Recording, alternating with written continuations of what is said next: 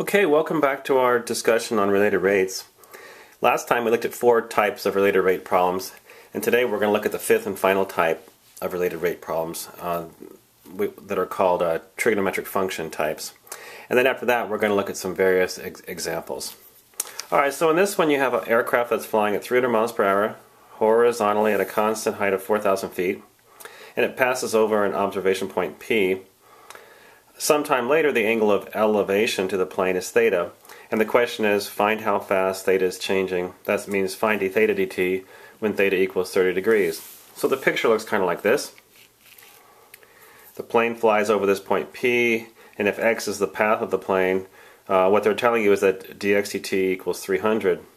But you can see from the picture that this distance is also x, so you could think of it in terms of this triangle here. dx dt here is equal to 300. So you're given dx dt is 300 and you want to find d theta dt when theta equals 30 degrees. So you got to find a function that relates theta and x. And it's kind of nice to use constant values. It makes your, your computations easier later. So what, what function relates theta, x, and 4,000? Why, it's the tangent, of course. Tangent of theta equals 4,000 over x. So what you're going to do is you're going to differentiate both sides with respect to t notice that um, 4,000 over x can be written as 4,000 x to the negative 1. Now, be, be careful here. When you differentiate tangent of theta with respect to t, you get secant squared theta, but don't forget to take the derivative of what's inside with respect to t. So you pick up a d theta dt by the chain rule. Same thing over here. You, uh, you, you get negative 4,000 x to the negative 2, but by the chain rule you get the derivative of what's inside with respect to t. So you pick up a dx dt. So all we have to do now is solve for d theta dt. We're going to divide both sides by secant squared. When you divide by secant squared, it's the same thing as multiplying by a cosine squared on the top, isn't it? So to finish this problem, we have to find x, and we have to find cosine of theta when theta equals 30 degrees. It, it turns out, if you recall, uh, back in section 3.3, the derivatives of the trig functions are only valid when we have radian measure. So I think uh, it's very uh, be safe if in every case always convert to radi radians. So let's call this pi over 6. So uh, how do you find x? Well, you know that the tangent of pi over 6 is 4,000 over x. The tangent of pi over 6, recall, is uh, 1 over square root of 3. So uh, when you cross multiply, you got x is 4,000 times the square root of 3. We also have to find the cosine squared of theta. Well, you know what the cosine of pi over 6 is. Cosine pi over 6 is radical 3 over 2. So cosine squared of pi over 6 would then be um, 3 fourths. So when you plug all that good, good stuff in, you plug in 3 fourths for cosine theta squared, and you plug in um, 4,000 squared of 3 for x. When you multiply it out, and uh, I rounded my final answer, I simplified it and then I rounded it. I get negative 0.02 radians per hour. Does it make sense that um, that the d theta dt will be negative? Because if you look at this, as the plane flies, isn't the angle of elevation getting getting smaller and smaller? Okay. Let's let's do some more here. So that that was a type that we call a uh, trigonometric function type. In this one, we have the height of a cylinder that's increasing at 4 centimeters per second, while the radius is decreasing at 3 centimeters per second. Question is, how fast is the volume changing when the height is 10 and the radius is 6 centimeters? So the picture looks kind of like this. And they're giving us a lot of stuff. They're giving us that dhdt 4 centimeters per second, drdt is negative 3 centimeters per second, and they want us to find dvdt when h is 10 and r is 6. What's the equation that relates all this stuff together? Why, it's the volume of the cylinder. So this would be an example of a geometric formula type, wouldn't it? What do you do? You take the derivative of both sides with respect to t. We're going to use the chain rule here. But notice, folks, um, r and h are both functions of t. They're, r and h both change with respect to t. So you're going to have to use the product rule here when you differentiate the right side. Now the, the, the pi is going to factor out of the right side.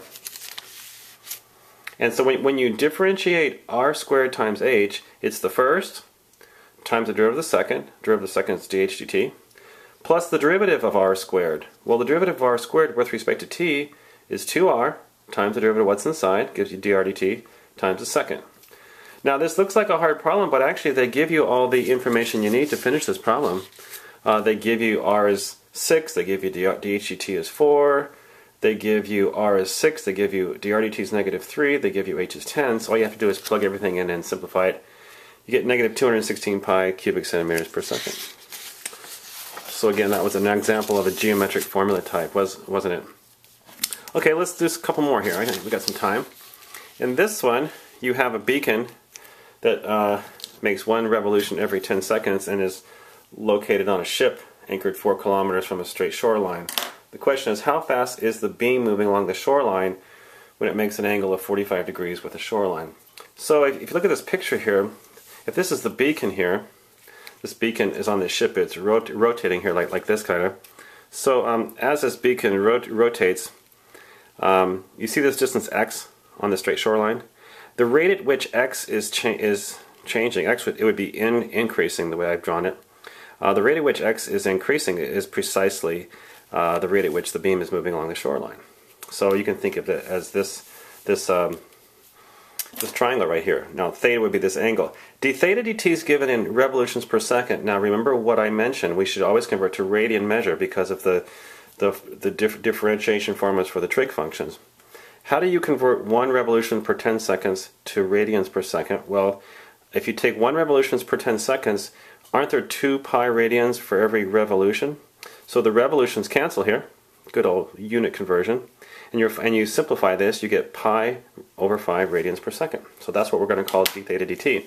And they want us to find dx dt when theta equals 45. Um, actually, technically, it's when it's when this angle equals 45. But you understand, when this angle is 45, this angle will be 45 also. So, what's the relate? What's the function that relates x and theta? Why, it looks like it's a trig function to me. It's going to be the tangent again. Tangent of theta equals x over 4.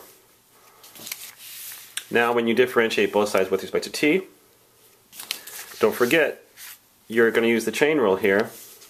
And the derivative of the left side becomes secant squared theta d theta dt. Derivative of the right side is 1 fourth times dx dt. Now we're solving for dx dt. So you multiply both, both sides by 4. Now to finish this problem, we have to plug in at that instant when, when, when, when it has an angle of 45 degrees or pi over 4 with a shoreline, that means this angle is pi over 4, theta is pi over 4. So you need to know what secant of pi over 4 is. That's not too bad. Secant of pi over 4, that's 1 over the cosine, right? So the co so it'd be 2 over square root of 2, which is just square root of 2.